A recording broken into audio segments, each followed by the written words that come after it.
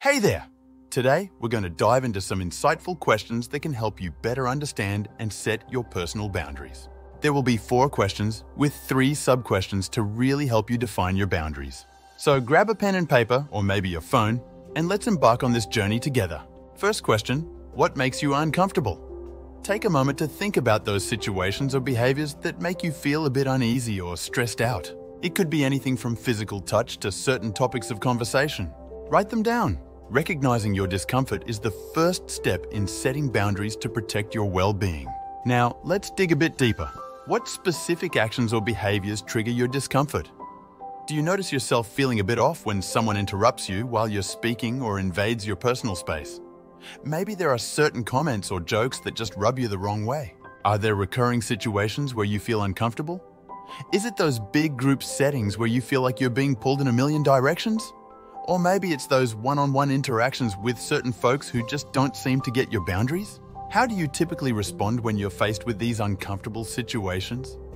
Do you find yourself retreating and avoiding confrontation, even if it means putting your own needs on the back burner? Or maybe you tend to go above and beyond, bending over backwards to accommodate others, even if it leaves you feeling drained? Question two What are your core values? Now let's talk about what really matters to you. What are those guiding principles and beliefs that light your path? Your boundaries should be rooted in these values, guiding your interactions and decisions. Think about what truly lights you up in life and how you want to be treated by others. Now, let's dig a bit deeper. What values do you hold dear in your personal and professional life? Are honesty, integrity, and respect at the top of your list? Do you treasure your independence and freedom?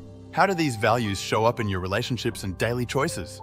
For instance, if trust and loyalty are a big deal for you, you might set boundaries around honesty and faithfulness. Are there times when your values are put to the test, and how does it make you feel? You might feel a bit out of sorts when it feels like your core principles are being brushed aside or ignored. Question 3. What are your limits? Now, let's talk about boundaries in terms of your emotional, physical, and mental well being. Recognizing when you've hit your limit is key to keeping your cup full. Understanding your limits helps you steer clear of burnout and keep a healthy balance in your relationships and daily life. Let's dive into it. What signs or signals tell you that you're reaching your limits? These signs can pop up emotionally or physically. You might find yourself getting more easily annoyed or stressed out, or maybe you're feeling more tired or tense than usual. How do you typically respond when you're nearing your limits? Do you push through, ignoring those signs of stress and exhaustion? Or maybe you're a pro at hitting the brakes and taking a breather when you need it most? Are there certain activities or situations that zap your energy more than others? Maybe it's those big social gatherings or those never ending work tasks that leave you feeling drained. Question 4. What are your deal breakers? Lastly, let's talk about those non negotiables. These are the boundaries that protect your well being and sanity. Whether it's disrespect, manipulation, or dishonesty, knowing your deal breakers empowers you to stand firm and advocate for yourself. Let's get into it. What specific behaviors or actions are a hard no for you? Maybe it's when someone constantly talks over you or belittles your opinions. Or maybe it's when folks invade your personal space without asking. Have you ever found yourself in a situation where your deal breakers were crossed? How did you handle it? And what did you learn from the experience? By asking yourself these questions and really exploring your boundaries, you're taking a big step toward owning your space and your needs. But now that you've identified your boundaries, you may be wondering how do you set them? This may come as a no surprise, but the most important thing is to communicate them. How would someone know that your boundaries exist if you don't express them? This could involve having open and honest conversations with friends, family members, co workers, or romantic partners about what you're comfortable with and what you're not.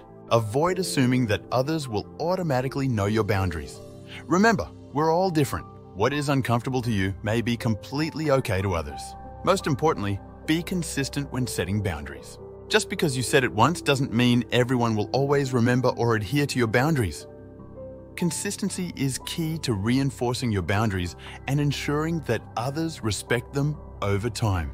If you found this video helpful, give it a thumbs up and hit that subscribe button for more tips on self care and personal growth. Did you manage to learn something new about yourself today? Let us know in the comments below. Until next time, take care.